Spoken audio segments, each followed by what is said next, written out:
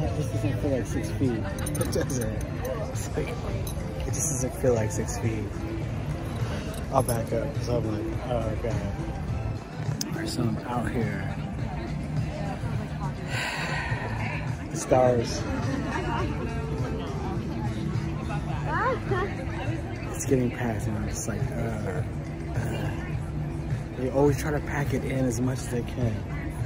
I would like to get a place, company that instead of trying to find and squeeze as much money out of they could, as they can get out of something, to try to base their company business on making me feel comfortable. I'm constantly having to monitor how my safety is in all these places based on the profit margin for the business.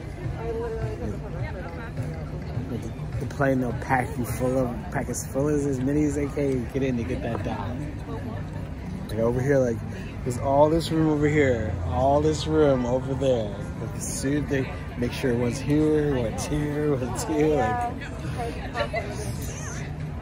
And this is not six feet. There's no way that's six feet.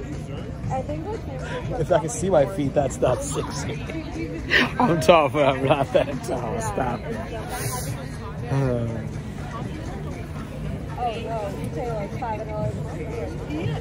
But there is a blanket on the way to you. Thank you. How about you? Did you get one? Word. So we're having pina coladas.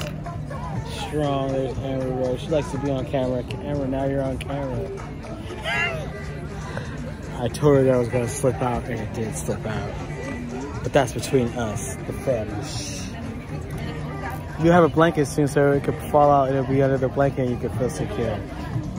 Yeah. And you can grab on it. And then every time someone gets next to me, they always have to do some whole event. It's not, it's not just sit down and chill. look, look. Not only did she touch, put her body all on this one, now I'm gonna go all the way over here and put my body on this. Did they see that? That's how it is now. There's new normal and then there's fuck your new normal.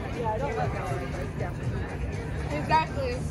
Speaking of fuck your new normal, I just want you also, also, I want you guys to know that I hate you guys that put the mask right here acting like you're doing something, but you're not really doing something like this anyway.